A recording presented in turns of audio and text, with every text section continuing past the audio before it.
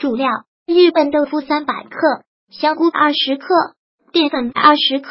辅料：油、盐、鸡精、洋葱。准备时间：十到二十分钟。制作时间：十到二十分钟。准备豆腐和淀粉，将豆腐切成两厘米的厚度，沾上淀粉。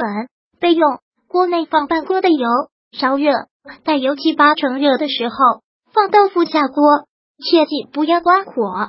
盛出豆腐备用，这样才好控油。香瓜用热水浸泡一会，锅内放油，下洋葱炝锅，放香菇丝下锅，一起翻炒，搅拌一点淀粉水下锅，加盐、鸡精下锅一起翻炒，加点水，均匀搅拌收汁。出炉了哦。烹饪技巧，切记不要关火。盛出豆腐备用，这样才好控油。如果喜欢本视频，请分享并订阅本频道，别忘了按赞哦。